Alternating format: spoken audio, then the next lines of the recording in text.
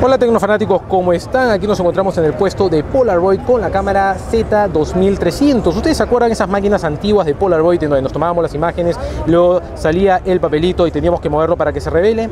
Bueno, acá tenemos la versión mejorada, actualizada de ese producto. Eh, esta cámara es de 10 megapíxeles y lo que vamos a hacer ahora es tomar eh, una foto. Ustedes pueden ver que tiene una pantalla de, eh, de 3 pulgadas, es en LCD.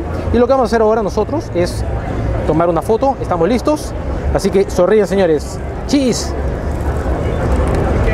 Una vez que hemos tomado la fotografía, simplemente nosotros movemos este cursor al lado izquierdo, podemos buscar la foto que nos interesa, digamos que esta nos interesa, hacemos clic acá y lo único que tiene que hacer es clic en OK para que en este caso imprima la imagen, hacemos clic acá y en estos momentos nos va a arrojar la imagen, vamos a ver por dónde nos las arroja, por acá y ahí está imprimiendo Ustedes en unos momentos van a ver el papelito saliendo.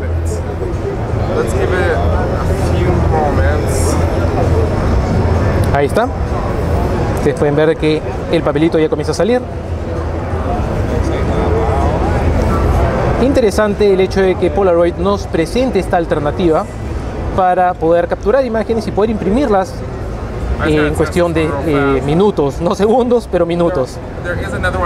Ahí está. Y acá tenemos nuestra imagen. Ojalá que les haya gustado este video. No se olviden de hacer clic en el dedito para arriba en caso les haya gustado. No se olviden de suscribirse a nuestro canal. Mi nombre es José de tecnofanático.com y nos vemos en un próximo video. Chao. Uh.